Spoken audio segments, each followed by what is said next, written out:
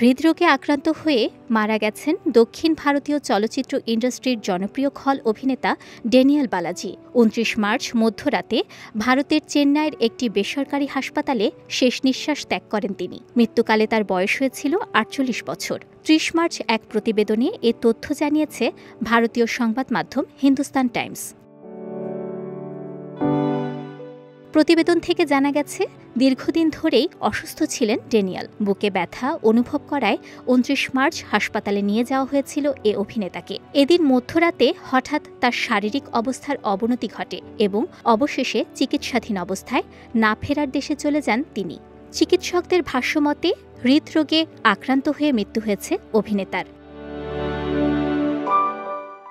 তামিল সিনেমায় বেশিরভাগ সময় খল অভিনেতার চরিত্রেই দেখা যেত ড্যানিয়াল বালাজিকে। অভিনেতা কমল হাসানের মারু মারুধুনায়াগামে ইউনিট প্রোডাকশন ম্যানেজার হিসেবে কর্মজীবন শুরু করেন বালাজি। টেলিভিশনেও কাজ করেছেন তিনি। দুই হাজার বাইশ সালের এপ্রিলে মাথাথিল চলচ্চিত্রের মাধ্যমে তামিল ইন্ডাস্ট্রিতে পা রাখেন এ অভিনেতা। তারপর থেকে একের পর এক সিনেমায় অভিনয় করে ফিল্ম ইন্ডাস্ট্রিতে অল্প সময়েই নিজের জায়গা তৈরি করেছিলেন ডেনিয়াল